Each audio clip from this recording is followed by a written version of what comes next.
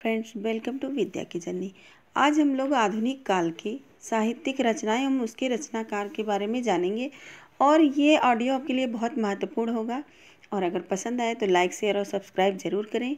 तो सुनते हैं, अंधेरी नगरी ये किसकी रचना है? तो भारतेंदु हरिश्चंद्र की है।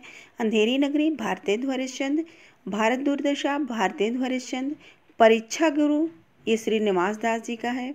अंधेरी नगरी, भारतीय हरिश्चंद्र भारत दूरदर्शा भारतेंदु हरिश्चंद्र परीक्षा गुरु श्रीनिवास दास परीक्षा गुरु श्रीनिवास दास, देवरानी जेठानी, गोपाल दास गहमरी, देवरानी जेठानी, गोपाल दास गहमरी, गो, देवरानी जेठानी जो रचना है, उसके रचनाकार हैं गोपाल दास गहमरी। देवरानी जेठानी ये रचना है और ये रच, इसके रचनाकार हैं गोपाल दास गहमरी। अंधेरी नगरी के रचनाकार हैं भारतेंदु हरिश्चंद्र भारत दुर्दशा के रचनाकार हैं भारतेंदु हरिश्चंद्र परीक्षा गुरु के श्रीनिवास दास रचनाकार हैं, देवरानी जेठानी के गोपाल दास गहमरी हैं और चिंतामणि के आचार्य रामचंद्र शुक्ल हैं। चिंतामणि के आचार्य रामचंद्र शुक्ल हैं, ध्रुव स्वामी के जयशंकर प्रसाद हैं, ध्रुव स्वामी के जयशंकर प्रसाद हैं, अनामिका के, अनामिका रचना है और उसके रचनाकार हैं सूर्यकांत त्रिपाठी निराला। अनामिका के रचनाकार हैं सूर्यकांत त्रिपाठी, निराला। युगवाड़ी के रचनाकार हैं सुमित्रानंदन पंत। युगवाड़ी के जो रचनाकार हैं, वे हैं सुमित्रानंदन पंत जी। सिख, दीप शिखा जो रचना है, उसके रचनाकार हैं महादेवी वर्मा। दीप शिखा के रचनाकार हैं महादेवी वर्मा। दीप शिखा के रचनाकार हैं महादेवी वर्मा। प्रेमाश्रम के रचनाकार हैं प्रेमचंद। प्रेमाश्रम के रचनाकार हैं प्रेमचंद। गबन के रचनाकार हैं प्रेमचंद। गबन के रचनाकार हैं प्रेमचंद।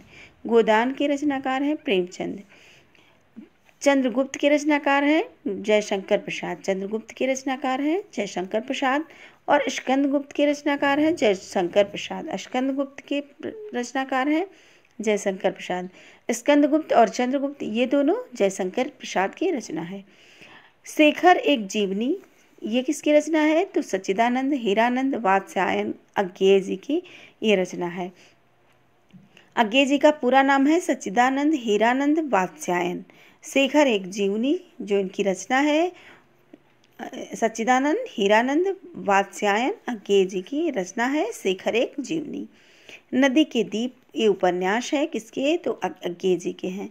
नदी के दीप, उपन्यास है, ये अज्ञेय जी की है। अज्ञेय जी का पूरा नाम है सच्चिदानंद, हीरानंद, वात्स्यायन। अज्ञेय चाँद का मुख टेढ़ा है, ये किसकी रचना है? चाँद का मुख टेढ़ा है, ये किसकी रचना है? तो गजानंद माधव जी की रचना है, जो मुक्तिबोध है। गजानंद माधव मुक्तिबोध है, उनकी रचना है, चाँद का मुख टेढ़ा है। चंद्रकांता किसकी रचना है? चंद्रकांता देवकीनंदन खत्री की रचना है। चंद्रकांता देवकीनंदन खत्री की रचना है। कंकाल जयशंकर प्रसाद की है। कंकाल जो रचना है, वो जयशंकर प्रसाद की है। तितली जयशंकर प्रसाद की है। तितली किसकी रचना है? तो जयशंकर प्रसाद की है। कंकाल जयशंकर प्रसाद की रचना है। तितली जयशंकर प्रसाद की रचना है। तितली जयशंकर प्रसाद की रचना है। तितली जो है, वो जयशंकर प्रसाद की रचना है। राम रहीम, ये किसकी रचना है? तो राधिका रमन प्रसाद सिंह की रचना है। राम और रहीम राधिका रमन प्रसाद सिंह की रचना है। चंद हसीनों के खतूत। चंद हसीनों के खतूत, ये किसकी रचना है? तो पांडे वेचन शर्मा उग्र की रचना है। चंद हसीनों के खतूत, ये पांडे वेचन शर्मा उग्र की रचना है। चंद हसीनों के खतूत, ये पांडे बेचन शर्मा उग्र की रचना है। बाण भट्ट की आत्मकथा, हज़ार, हजारी प्रसाद द्विवेदी की रचना है। बाण भट्ट की आत्मकथा, हजारी प्रसाद द्विवेदी की रचना है। बूंद और समुद्र ये किसकी रचना है? तो अमृतलाल नागर की रचना है। बूंद और समुद्र अमृतलाल नागर की रचना है। बूंद और समुद्र अमृतलाल नागर की रचना है। खंजन नयन अमृतलाल नागर की रचना है। बूंद और समुद्र ये अमृतलाल नागर की रचना है। खंजन नयन ये अमृतलाल नागर की रचना है। कब तक पुकारूं? ये रागेय राघव की रचना है। कब तक पुकारूं? ये इसके रचनाकार हैं? रागेय राघव। रांगेय राघव, कब तक पुकारूं की रचनाकार हैं। सुनीता सुनीता किसकी रचना है? तो सुनीता जैनेन्द्र की रचना है। सुनीता और त्यागपत्र, ये जैनेन्द्र की रचना है। सुनीता और त्यागपत्र, ये जैनेन्द्र की रचना है। सुनीता जैनेन्द्र की रचना है, त्यागपत्र भी जैनेन्द्र की रचना है। तमश किसकी रचना है? तो तमश भीष्म साहनी की रचना है। तमश किसकी रचना है? तमश भीष्म साहनी की रचना है। मैला आचल मैला आचल किसकी रचना है? तो फणीश्वर नाथ रेणु की रचना है। मैला आचल फणीश्वर नाथ रेणु की रचना है। पहला राजा पहला राजा किसकी रचना है? तो जगदीश चंद्र माथुर की रचना है। पहला जो राजा है, वो किसकी रचना है? जगदीश चंद्र माथुर की रचना है। कोणार्क कोणार्क किसकी रचना है? तो जगदीश चंद्र माथुर की रचना है। पहला राजा और कोणार्क, ये दोनों जगदीश चंद्र माथुर की रचना है। कोणार्क और पहला राजा ये दोनों जगदीश चंद्र माथुर की रचना है। आषाढ़ का एक दिन ये मोहन राकेश की रचना है। आषाढ़ का एक दिन मोहन राकेश की रचना है। लहरों के राजहंस ये मोहन राकेश की रचना है। लहरों के राजहंस मोहन राकेश की रचना है। आषाढ़ का एक दिन मोहन राकेश की रचना है। हनुष किसकी रचना है? हनुष हनुष जो है वो भीष्म शाहानी की रचना है। हनुष हनुष के रचनाकार हैं भीष्म शाहानी जी।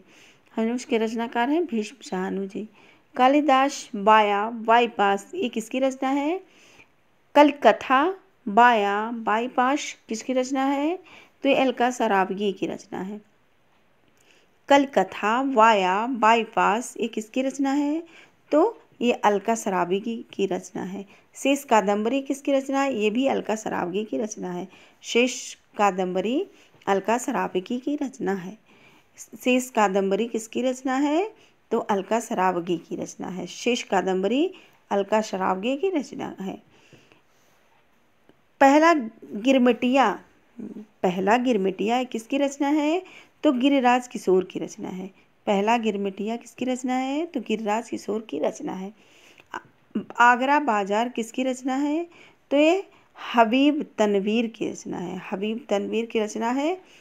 आगरा बाज़ार हबीब तनवीर की रचना है आगरा बाज़ार। पार्टी कामरेड किसकी रचना है? तो यशपाल जी की है। पार्टी कामरेड ये किसकी रचना है? तो यशपाल जी की रचना है। दादा कामरेड किसकी रचना है? तो यशपाल जी की रचना है। पार्टी कामरेड और दादा कामरेड ये दोनों रचनाएँ यशपाल जी की हैं। पार्टी काम, कामरेड और दादा कामरेड ये दोनों यशपाल जी की रचना है। रत्नाथ की चाची, ये किसकी रचना है? रत्नाथ की चाची, ये रचना है नागार्जुन जी की। नागार्जुन जी की रचना है, रत्नाथ की चाची। बल, बलचनमा किसकी रचना है? तो नागार्जुन की रचना है। बलचनमा, ये नागार्जुन जी की रचना है। कुंभोपाक कुंभोपाक किसकी रचना है? कुंभीपाक जो है, वो नागार्जुन की रचना है। कुंभीपाक, ये नागार्जुन जी की रचना है। करबला, जो नाटक है, वो किसकी रचना है? तो ये प्रेमचंद जी की रचना है। करबला नाटक है और यह प्रेमचंद की रचना है। संग्राम नाटक है और ये प्रेमचंद की रचना है।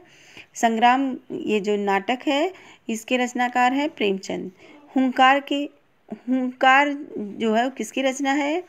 तो रामधारी सिंह दिनकर जी की रचना है। हुंकार, रश्मरथी और ये दोनों रामधारी सिंह दिनकर की रचना है। हुंकार और रश्मिरथी, ये दोनों रामधारी सिंह दिनकर की रचना है। नूरजहाँ किसकी रचना है? नूरजहाँ गुरु भक्त सिंह भक्त की रचना है। नूरजहाँ गुरु भक्त सिंह भक्त की रचना है। नूरजहाँ गुरु भक्त सिंह भक्त की रचना है। परशुराम की प्रतीक्षा ये किसकी रचना है? रामधारी सिंह दिनकर की रचना है। परशुराम की प्रतीक्षा रामधारी सिंह दिनकर की रचना है।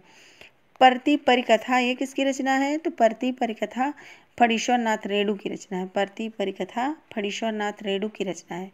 झूठा सच किसकी रचना है? तो ये झूठा सच के जो रचनाकार हैं, वे यशपाल जी हैं। उसके जो रचनाकार हैं, झूठा सच के रचनाकार हैं यशपाल जी।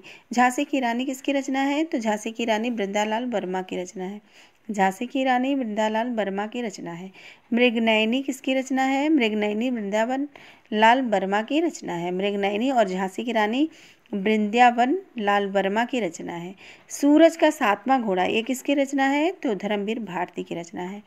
सूरज का सातवां घोड़ा, धर्मवीर भारती की रचना है। आधे अधूरे, ये मोहन राकेश की रचना है। आधे अधूरे, मोहन राकेश की रचना है। चीड़ों पर चांदनी, चीड़ों पर चांदनी, ये किसकी रचना है? निर्मल वर्मा की। निर्मल वर्मा जी की जो रचना है, वो है चीड़ों पर चांदनी। कितने पाकिस्तान, ये कमलेश्वर जी की रचना है। कितने पाकिस्तान, ये कमलेश्वर जी की रचना है। मछली मरी हुई, राजकमल चौधरी जी की रचना है। मछली मरी हुई, राजकमल चौधरी जी की रचना है। नई पौधा, नई पौध, ये नागार्जुन जी की रचना है। नई पौधा जो है, नई पौध ये नागार्जुन जी की रचना है, दुखमोचन नागार्जुन जी की रचना है दुख मोचन के रचनाकार हैं नागार्जुन जी। मेरी जीवन यात्रा राहुल संकृत्यायन की रचना है, मेरी जीवन यात्रा ये राहुल संकृत्यायन की रचना है। सिंह सिंहावलोकन यशपाल जी की रचना है सिंहावलोकन यशपाल जी की रचना है। दिव्या दिव्या यशपाल जी की रचना है सिंहावलोकन यशपाल जी की रचना है और दिव्या ये भी यशपाल की रचना है। कामायनी के रचनाकार हैं जयशंकर प्रसाद। कामायनी के रचनाकार हैं जयशंकर प्रसाद। विश्रामपुर का संत, ये किसकी रचना है? तो विश्रामपुर का संत श्री लाल शुक्ल की रचना है। विश्रामपुर का संत श्री लाल शुक्ल की रचना है। राग दरबारी किसकी रचना है? तो श्री लाल शुक्ल जी की रचना है। राग दरबारी श्री लाल शुक्ल जी की रचना है।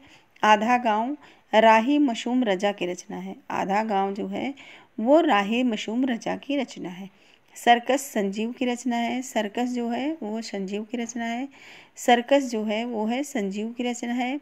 आधा गाँव राही मशूम रजा की रचना है। आधा गाँव राही मशूम, माशूम रजा की रचना है और सर्कस संजीव की रचना है। अंतिम अरड़े किसकी रचना है?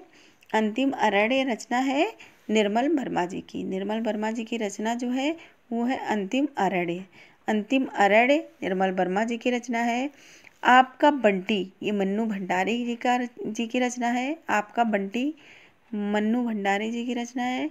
महाभोज, मन्नू भंडारी जी की रचना है। महाभोज किसकी रचना है? तो मन्नू भंडारी जी की है। संशय आत्मा, ये किसकी रचना है? तो ज्ञानेन्द्र जी की रच ज्ञानेन्द्र पति की रचना है। संशय आत्मा ज्ञानेन्द्र पति की रचना है। संशय आत्मा ज्ञानेन्द्र पति की रचना है। महाभोज मन्नू भंडारी की रचना है। आपका बंटी मन्नू भंडारी की रचना है। आपका बंटी मन्नू भंडारी की रचना है। महाभोज मन्नू भंडारी की रचना है। संशयात्मा ज्ञानेन्द्रपति की रचना है। अंतिम अरण्य निर्मल वर्मा की रचना है। अंतिम अरण्य निर्मल वर्मा की रचना है, सर्कस संजीव की रचना है, आधा गाँव राही मासूम रजा की रचना है, राग दरबारी श्रीलाल शुक्ल जी की रचना है विश्रामपुर का संत श्रीलाल शुक्ल जी का है, कामायनी जयशंकर प्रसाद का है, दिव्या यशपाल जी का है, कामायनी जयशंकर प्रसाद का है सिंहमावलोकन ये भी यशपाल जी का है, मेरी जीवन यात्रा राहुल संकृत्यायन का है दुख मोचन नागार्जुन जी का है, नई पौधा नागार्जुन जी का है, मछली मरी हुई राजकमल चौधरी जी का है, कितने पाकिस्तान कमलेश्वर जी का है, चीड़ों की चांदनी निर्मल वर्मा की है, आधे अधूरे मोहन राकेश जी की रचना है, सूरज का सातवां घोड़ा धर्मवीर भारती जी का है मृग नयनी वृंदालाल वृंदावन लाल वर्मा जी का है, झांसी की रानी वृंदालाल वृंदावन लाल वर्मा जी का है, झूठा सच यशपाल जी का है परती परिकथा फणीश्वर नाथ रेडू जी की है, परशुराम की प्रत्यक्षा रामधारी सिंह दिनकर जी की रचना है, नूर जहाँ गुरु भक्त सिंह भक्त की रचना है, रश्मिरथी, रामधारी सिंह दिनकर की रचना है, हुंकार, रामधारी सिंह दिनकर की रचना है। फ्रेंड्स, ये रहे हमारे कुछ महत्वपूर्ण रचना और मिलते हैं नेक्स्ट ऑडियो में। अगर आपको यह ऑडियो पसंद आए तो लाइक, शेयर और सब्सक्राइब ज़रूर करें।